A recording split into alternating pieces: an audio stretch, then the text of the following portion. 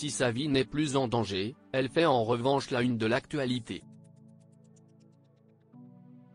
Le 22 avril dernier, aux alentours de 5h30 du matin, Kenji Girac a été blessé au thorax par un tir qu'il a qualifié lui-même d'accidentel.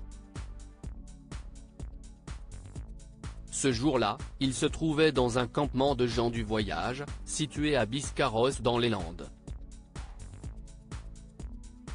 En effet, bien qu'il gagne des millions d'euros, et qu'il soit l'un des chanteurs les plus populaires de sa génération, Kenji Girac vit la moitié de l'année dans une caravane. Ainsi, comme chaque été, il avait rejoint sa communauté pour profiter des beaux mois à vadrouiller à travers la France.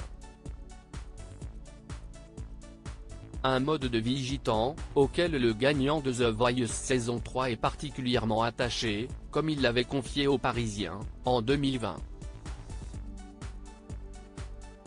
La vie de luxe, ce fils d'élagueur qui continue de prêter main forte à sa famille sur certains chantiers ne s'y fait pas. Au contraire, il s'y sent comme en prison, piégé.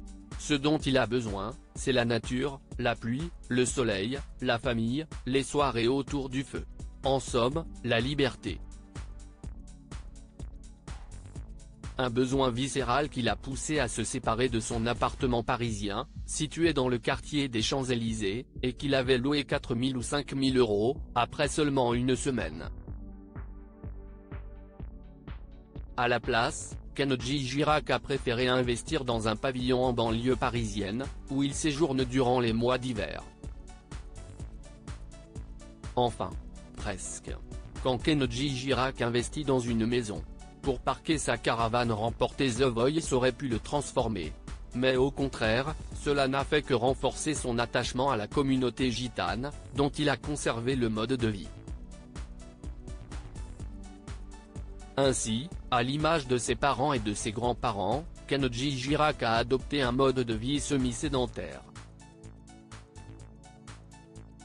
Pendant l'été, il voyage en caravane, tandis qu'un hiver, il réside dans sa maison en banlieue, à quelques détails près.